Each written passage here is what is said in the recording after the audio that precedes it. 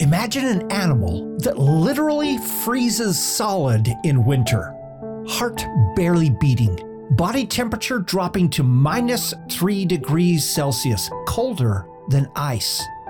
That's the Arctic ground squirrel, nature's most extreme hibernator. For up to eight months, they remain in a near death state, only to wake up in spring like nothing happened. It's one of the most mind blowing survival tricks in the animal kingdom.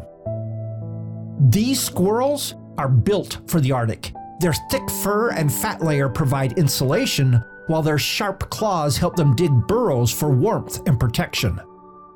Unlike their tree dwelling cousins, they stash food in oversized cheek pouches, storing enough supplies to survive when the ground is frozen solid. Arctic ground squirrels are social creatures, often living in large colonies for safety. In summer, they feast on seeds, berries, and insects, nearly doubling their body weight before winter. Then, as the cold sets in, they slow their heart rate to just one beat per minute, entering a state no other mammal can endure.